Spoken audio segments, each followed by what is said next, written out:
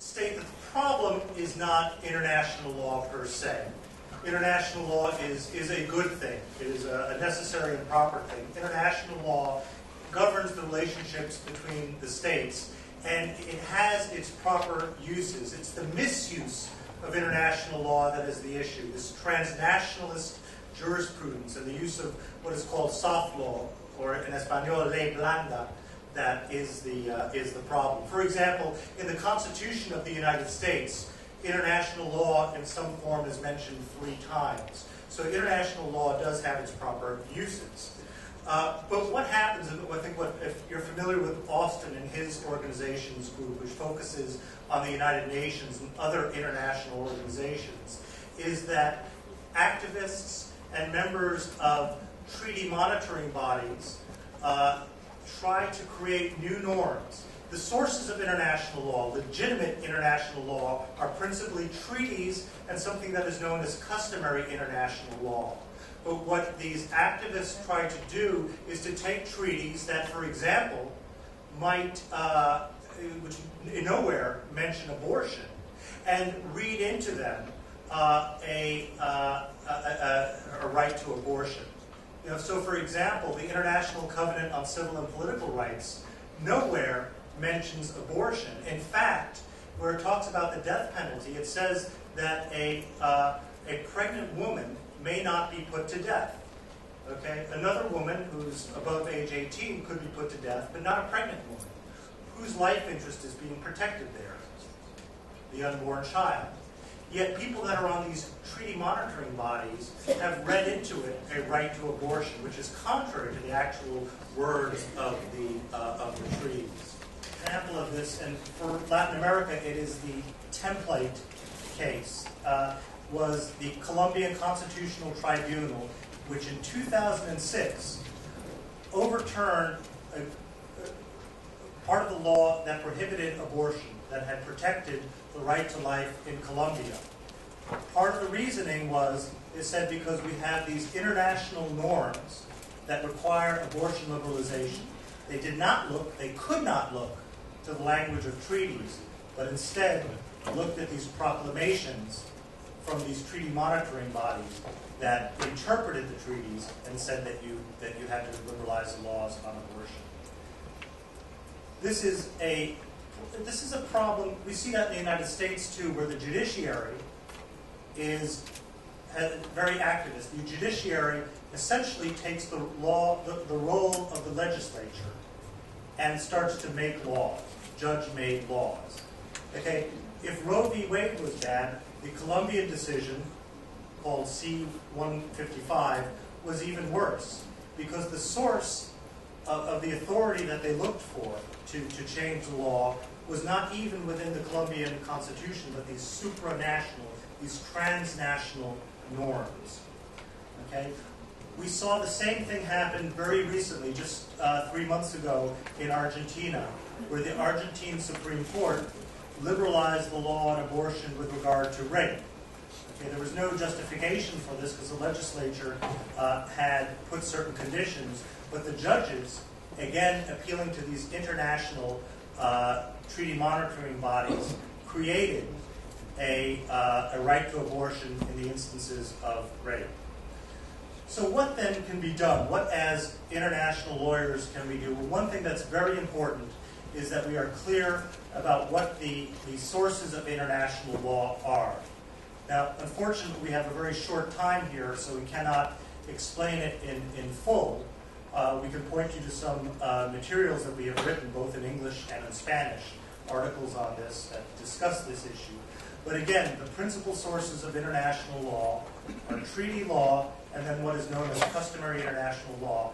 Customary international law is not as precise as treaty law, but it is not so open that you can include uh, something such as a right to abortion. Let's talk about specific examples, principally from Latin America, where countries have stood up to the pressure the, uh, the, demand that they have must liberalize their law. And Carmen later, Carmen Dominguez, will talk about some of the pressure that countries are under. One example is Nicaragua. In Nicaragua in, in 2006, the country actually tightened its law, made the law more protective of unborn life with respect to abortion.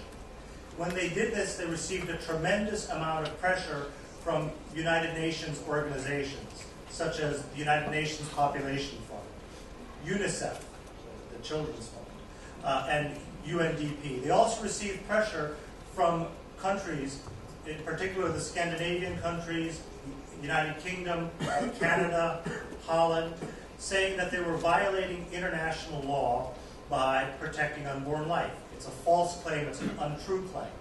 Sweden cut off $20 million worth of aid to Nicaragua in an attempt to pressure us. This was just after Nicaragua had suffered the terrible hurricane, a poor country. So this is aid money is used to pressure countries. Nicaragua, very interestingly, under the Sandinista government, a left-wing government, yet one that is protective of life, uh, stood up to these countries. And it's very interesting. Daniel Ortega, the president of Nicaragua, actually has a very interesting criticism of the abortion policies of the countries of the global north.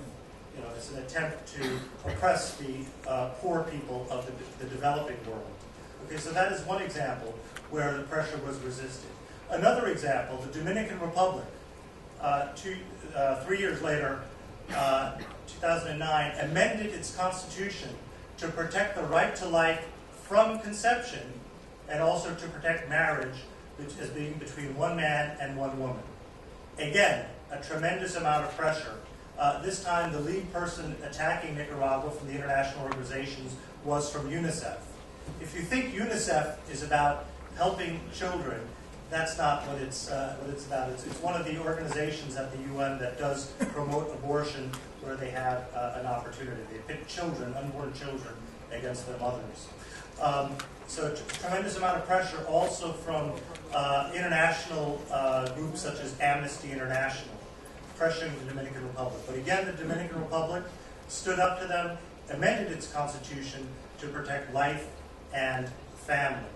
Uh, a role about for example, how we were involved, actually at that time I was with, with uh, CFAM, we wrote a letter, an opinion letter, to the Congress of the Dominican Republic and the President of the Dominican Republic, saying what are obligations under international law. That international law, properly understood, supports the right to life. There is no right to abortion in international law. Another example is the case uh, of Peru. Peru has come under criticism from, uh, in recent years, two treaty monitoring bodies.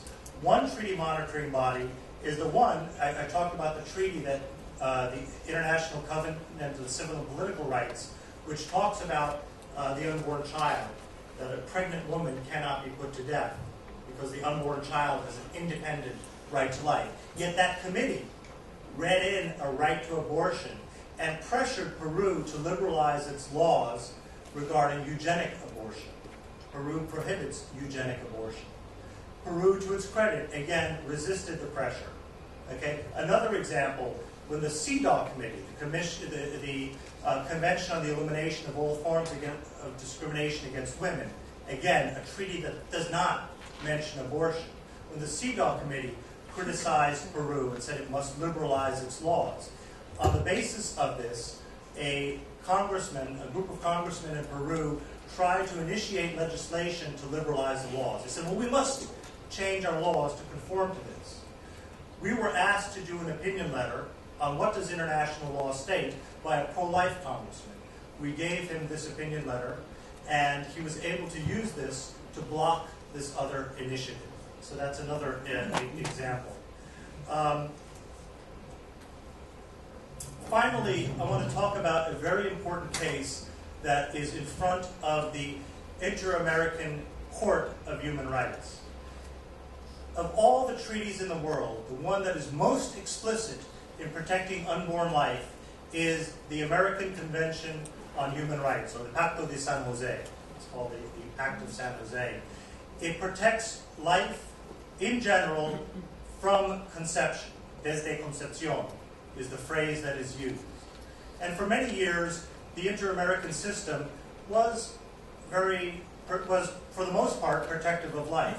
But what we've seen is the corruption of the inter-American system now, where you have commissioners, especially on the Inter-American Commission, who want to push abortion, uh, even though the actual words of the treaty are very explicit in that regard. Okay. In the case of Costa Rica, Costa Rica prohibited in vitro fertilization, fecundación in vitro, because of the principle that when you have uh, in vitro fertilization techniques, embryos are destroyed. Okay? The um, Inter-American Commission disregarded the opinion of, uh, of Costa Rica. Costa Rica had a defense based on the specific article that protects life from conception. They, they ignored it completely and said that uh, you have to uh, allow in vitro fertilization. Right now, this case is before the Inter-American Court. Uh, the Alliance Defense Fund, along with other organizations, allied organizations, we submitted uh, an amicus curiae brief uh, defending Costa Rica's law protecting unborn life. I think I will wrap up and allow my other colleagues, but hopefully we can uh, have a chance to discuss this during the question and answer period. Thank you.